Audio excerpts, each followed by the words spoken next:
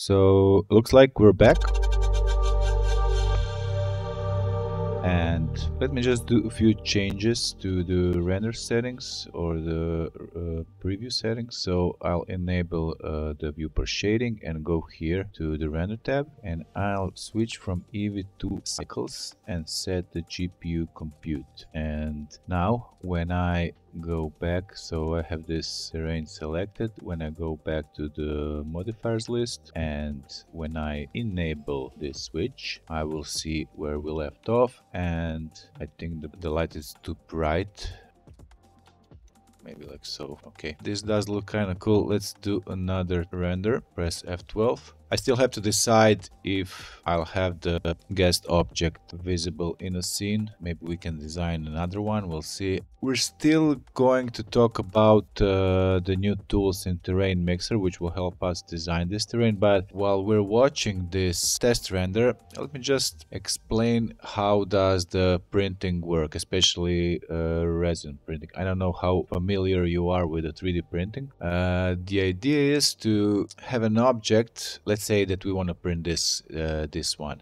So in a 3d printer especially resin 3d printer you have a vat like so where the resin is. So this is the resin. Imagine that this is the resin some kind of liquid. Then you have the plate printer plate which has some kind of a knob here so you can take it off when you're done with printing. And what happens is that uh, this plate is moving downwards all the way to inside this sweat and it prints layers. So the first layer is you know glued or sticked or cured on this plate and then the next layer and the next layer and the next layer and so on. And uh, what's cool with uh, this type of terrains is that if we oriented our model to be printed like this so imagine that this is our model that will be printed uh, we won't have any overhangs which means that we might pull this thing off even without support. I can't promise, but it's possible because the widest layer will be printed first and all the other layers uh, will be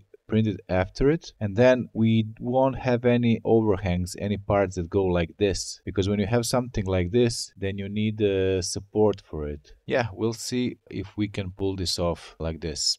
So let's close this. Going back to the new tools i go through the list here. Let's go to mask nodes and i'll turn the guest object switch off so we don't see it I won't go through every single tool here. We can we can test a few. So for example, this uh, linear gradient mask. Let's see what we can do to, with it. I have this input in purple and I have this input here in purple as well. This means that it is related to uh, terrains mapping and terrains mapping is based on UV layout. So I can use this to my benefit because if I add uh, this link here, let's call it like that, this, this, this dot, and I plug it here, I inherited this UV mapping on this linear gradient mask as well. So if I now press Shift A and type mix color, I can combine these two and I know already that it will match this terrain mapping. So if I view it from the top by pressing 7, I see the terrain as a square plate. Now if I plug it here, you will see that something happened. And here there are some things that I can change like uh, intensity minus 1 plus 1 0 uh, I can invert it. Sometimes the effect is not so obvious because it's just the inverted value depends on the structure of your terrain. Then I can change the angle. You see the rotation? I can enable Y angle which means that I can rotate it on the Y axis.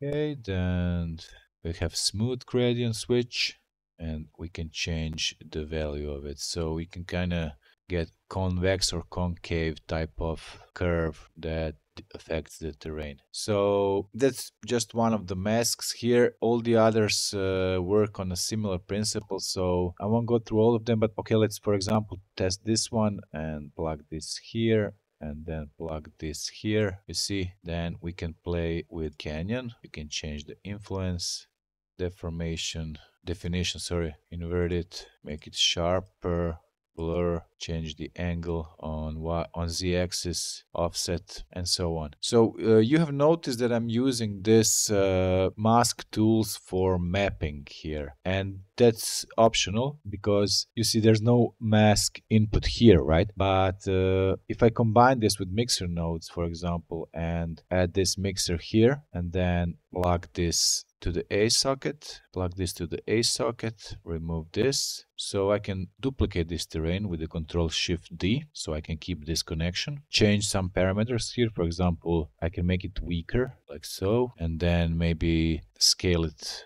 down a bit like so and even change the angle to 90 and then plug it here. We see what happens. We can even use the exclusion blending option. If it was mix uh, the input would work. Let's have it like this. And now if I plug the mask here and enable mask switch and increase mask factor nothing will change. But if I do this, something will change. So it works better with the with the mix option. And now I can continue where we left off. You know, I can change this uh, value, change the angle, offset.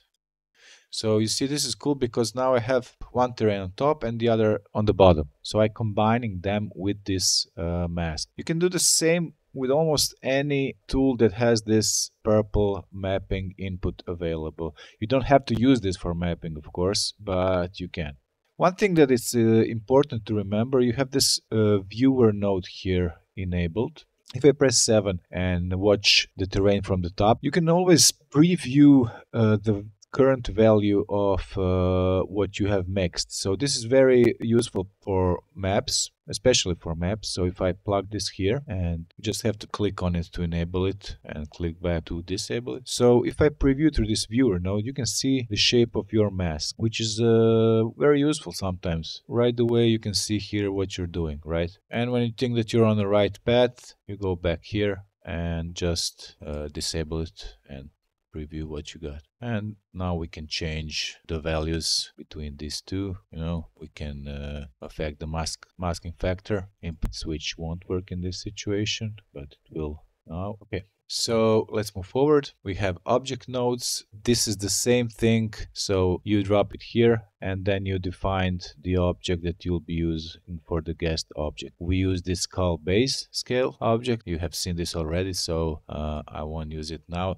This is uh, more useful when you're starting with with this terrain base simple or uh, or even with the with the just cube, you know, power nodes. This is similar and in a way that you that it affects uh, the mapping. Oh, you can use it as a mask as well. But let me let me show you what I'm talking about. So let me drag and drop this distort distortion master. And now what I can do okay let's bring back the mix node mix these two and now plug it here into the strength node to preview the terrain that we have at the moment. Now I can mix these two with this one to affect their mapping, but I won't do it here. I will do it here. So let me show you what I mean. I will plug it into the vector socket and do this. And then I'll drag from here, type mix color because color since it has RGB which are equivalent to red, green and blue. It's basically a vector. So now we can plug it here, for example, and here. Okay, change this from color to mix. And now you see that things are getting a bit weird here, which is what we want. So now if I change this factor, you will see how it affects uh, the mapping of the terrain, you see?